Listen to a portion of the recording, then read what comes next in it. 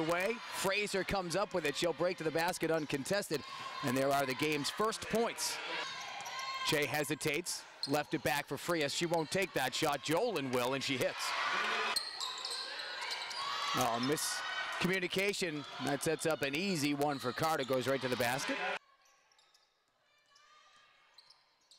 Final minute sees Nogic fire and connect, and got six of their 10 points. Same can be said for Nogic, six of the Friars now 12 as Jackson knifes to the basket for two.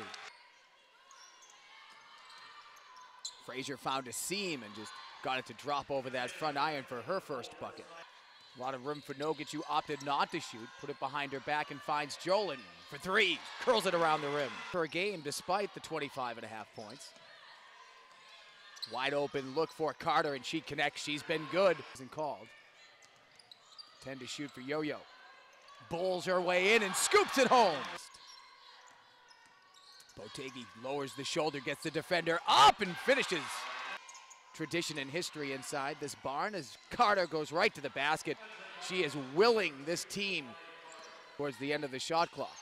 That's exactly what we're seeing right there by Nogic, who gets it away and gets the roll. The team in assists with 134, which was second in the Big Ten and 13th nationally. Clara Che led the team in assists. Carolina and her other brother won a national championship at Ohio State. Che, second three of the quarter.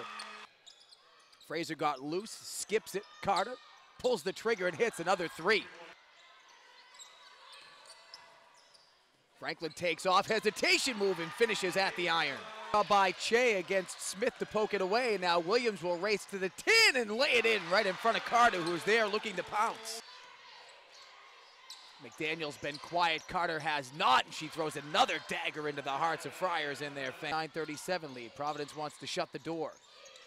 Frazier with a tough drive, and she hangs long enough for all the Rhode Island marbles, if you will.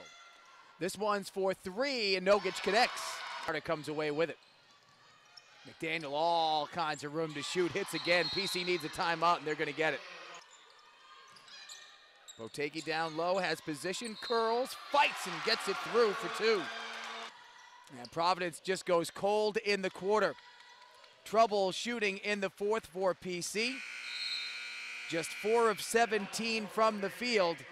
After making their first two, they missed 13 of their final 15 and what was a close game almost the entirety ends up being a little bit of a comfortable victory for the Lady Lions who moved to 4 and 0 on the season.